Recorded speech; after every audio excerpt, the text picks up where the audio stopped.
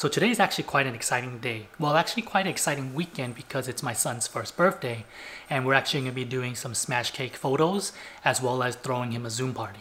So I thought this would be a perfect chance for me to show you guys how I'm doing a smash cake photo at home. And yes, this is actually not a studio, it's just my living room.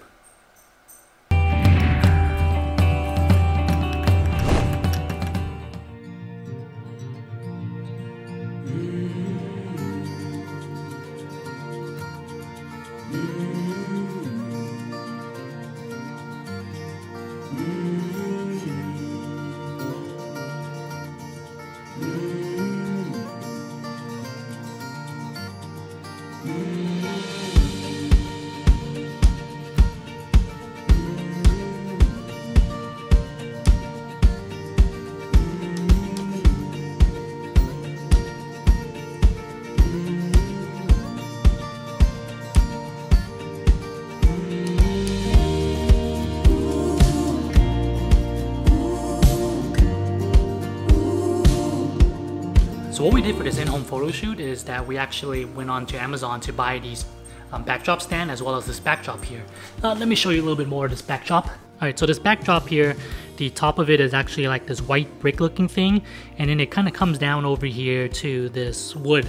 That's just one piece and then there's a little bit of a crease right here you can see where it's supposed to meet um, but we actually end up pulling it a little bit further out because we had this garland to cover it anyways so that it was easier for me to take pictures um, to show a little bit more of the wooden floor where my son would sit. I would say that right now looking at the backdrop it looks a little bit wrinkle free. When it came here it was actually pretty creased pretty badly. Um, what I had to do was use a steamer, not an iron, a steamer because this is actually plastic material or some kind of plastic material. It's not cloth so I wouldn't uh, iron it because you might melt it pretty easily, but a steamer took out of the the wrinkles pretty easily. An additional tip is that you actually want to tape down the backdrop so it doesn't move around as much when your baby's uh, stepping on it so less wrinkle shows up. So if you are planning to do something like this, um, I suggest that you don't spend too much money on the backdrop because as you can see here, um, this backdrop might not be reusable again because, um, well, the cake got on it, as you saw earlier. Um, I tried my best to clean it um, and now it's pretty dry. Um, however, you can tell that it's um, stained. Doesn't look anything like the other side, which is what it's supposed to look like. Setting up the backdrop stand is actually quite easy. Um, it comes with everything in the kit, including both the stands that you see on the ends, as well as these little clips here, and of course this uh, crossbar rod that holds the backdrop. Um, I just have it folded around and then clipped on with these four clips. So besides for the backdrop as well as the backdrop stand, the most important thing is actually going to be lighting. Because without proper lighting, your photos aren't going to turn out well. And I don't expect that most of you actually can have lights similar to this at your house. Um, since videography is something that I'm interested in, I do have some video lights at home. However, everyone actually has access to some very good free lighting and that's the sunlight. So to use window light, you're actually going to do the exact opposite of what I have shown right here.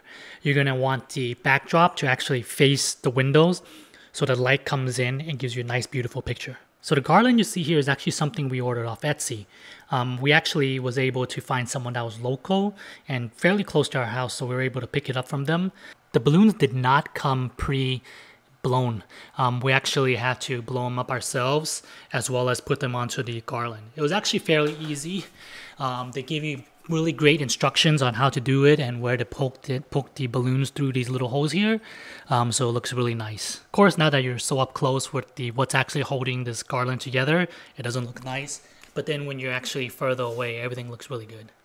So for the leaf garland, we actually picked up two different sets. Well, not two different sets, two actual sets of the same one, because um, we wanted a little bit more full and thicker looking. Um, each one comes with one of them that has these little flower and then one that looks like this, just uh, plain old leaves. And then we went on Amazon and I got these fairy lights here, and my wife just tangled them around so that it kind of looks nice and pretty. I'm definitely not a professional photographer or anything, although I do have a decent camera. Um, not by great camera by any means versus some of the professionals or anything. But uh, I think the pictures turned out pretty well. Um, my biggest tip to you is that if you do want to do something like this, um, I would highly suggest that if you don't have a, a, nice mirrorless camera DSLR and you have just a cell phone, you could probably do the same thing. However, I would suggest that you pick a background that's a little bit wider than the one I have here. The one I have here is only 5 feet by 7 so what that means, it's only five feet horizontally and then seven feet vertical. Um, so you actually don't have much room to work with, um, which is actually a little bit frustrating if you want to make sure everything's in frame, um, which is probably going to be the biggest drawback if you're trying to use something like a cell phone. However, not all is lost if you can't frame everything properly um, when you're taking a picture. You can always just crop it in Instagram. Let me know down below in the comment section if you're planning to do one of these home photo shoots for your child, or maybe you've actually already done one. What are some tips that you might want to give to others that are watching? And if you want to see more content like this, make sure to subscribe to my channel. And as usual, if you like my video, give me a thumbs up. I'll see you next time.